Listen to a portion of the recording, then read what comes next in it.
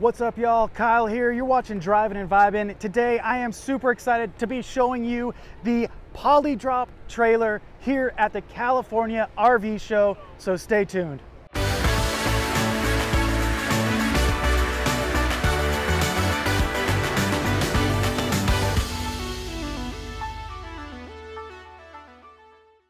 Welcome back to the channel, y'all. Thank you so much for joining me here today. Big shout out to RV Life and RV Trip Wizard for making this video series possible. They provide great tools for your RV planning needs. RV Trip Wizard can help you find all the best RV parks and all the best routes. And the RV Life app is a GPS RV safe travel guide that won't lead you under any low-hanging bridges. So check both of those out. I'll drop the links below. But today's video is all about this Polydrop trailer. Really, it is like a geometric styled modern teardrop trailer. Super exciting. I can't wait to show you the details. Let's do this.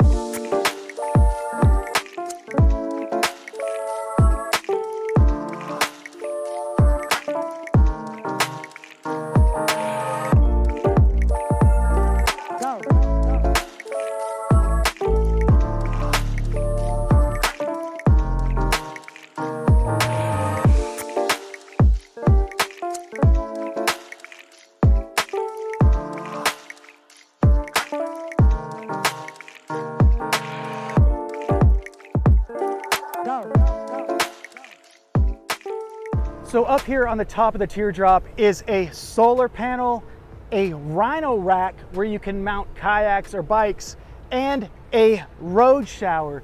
This is kind of like a thermal shower. It, it heats up the water by being positioned on the roof, and then you can use it to take a warm shower. Pretty cool, in my opinion, and a very functional and innovative use of space up here.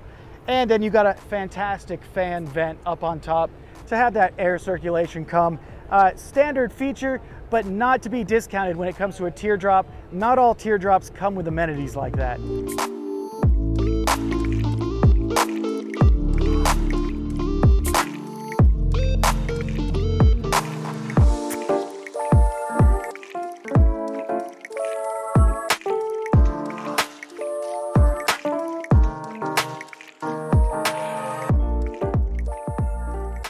The kitchen in the Polydrop trailer is one of our favorite aspects of the whole unit. You can see here it's beautifully handcrafted plywood, nice countertop space. It's got a sink with a hand pump on it to conserve the water. One of our favorite features though is this mini Dometic fridge. Not that big, but it'll definitely keep some drinks cold and even ice cream. You got this pull-out counter, counter space with a cooktop and more cutting area. And you know, the best part about this is that it's all designed to make the most of the space.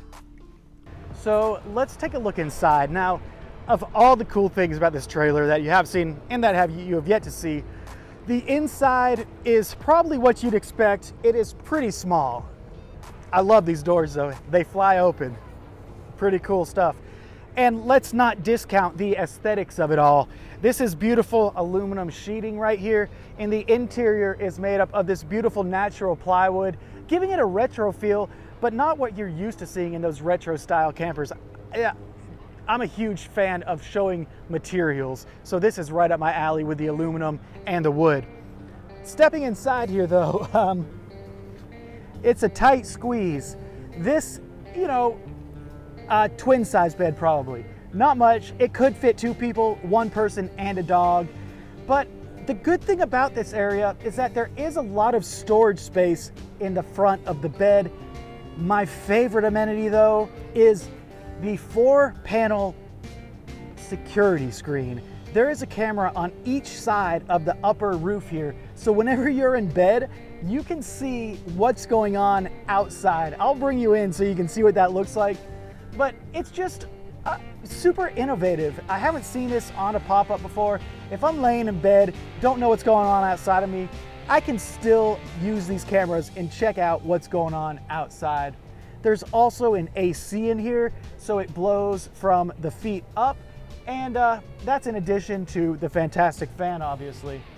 that pretty much wraps up the inside. You know, not much to talk about in here. It is a typical teardrop as far as space is concerned. Not what a regular RVer would want, but definitely an outdoor adventurer could really get into something like this.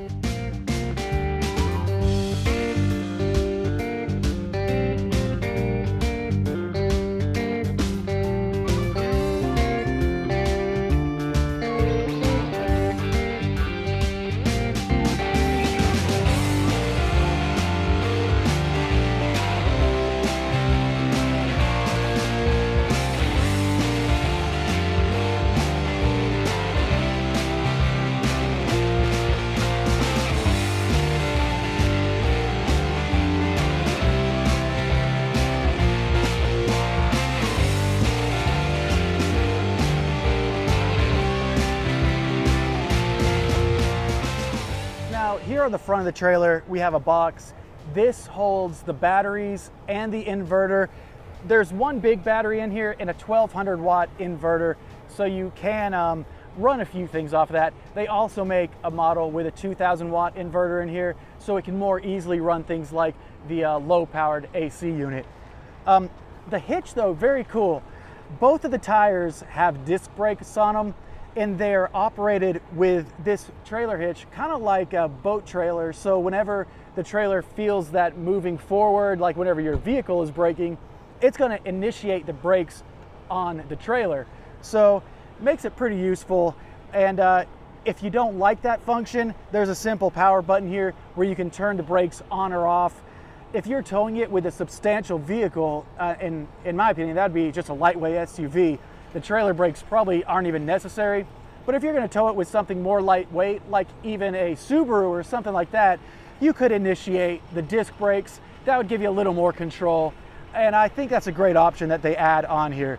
Overall, this is a super innovative teardrop, but in my opinion, more than that, it's stylistic. It has all the materials I love. It has a unique geometric shape not of a standard teardrop trailer. You're definitely going to um, turn heads whenever you pull this down the road. So a unique teardrop trailer with some fun amenities and best of all, the huge rear kitchen. I think that that is a great buy for anyone in the teardrop market. I know that's a small market, but for me, even not interested in traveling one, it is just cool to see what sort of innovations are happening on the scale of teardrop trailers. So thank you guys for watching this video. Let me know if you would ever take a trip in something like this. Could you travel in something this small? I think I could do it for maybe a week. Overall, very cool rig.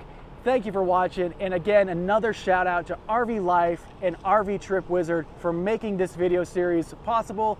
Links below, check them all out and check out these trailers. They are super cool. See you later.